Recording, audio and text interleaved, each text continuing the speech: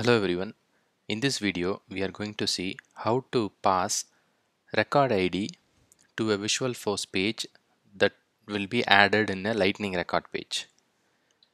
Since uh, people are migrating from Classic to uh, Lightning, um, it is hard to develop a Lightning component instead of a Visualforce page. Uh, so temporarily, people will uh, start using a Visualforce page. Uh, in that, they will have a logic where they will pass the record ID um, it, it, it is not uh, hard coded or anything like that. Using standard controller we will get the record id um, so that was uh, very handy in uh, uh um, say in, in, using visualforce page in a classic uh, salesforce classic.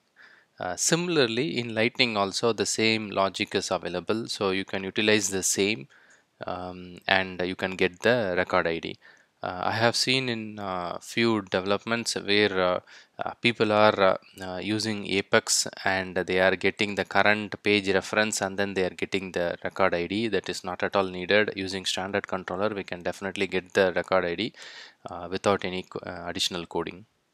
So let's see this simple Visualforce page. So I have standard controller is equal to account.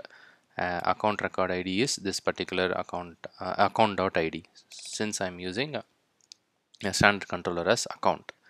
And make sure this available for lightning experience experience builder sites and the mobile app checkbox is checked. Once this is enabled and once you have added the light, uh, standard controller edit the lightning record page and add the visualforce page here.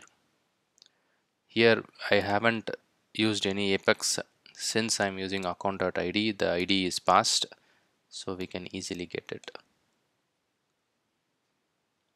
no need to have an apex controller to get uh, current page reference and get the record id we can directly get the record id using standard controller. I hope it was helpful. Thank you for watching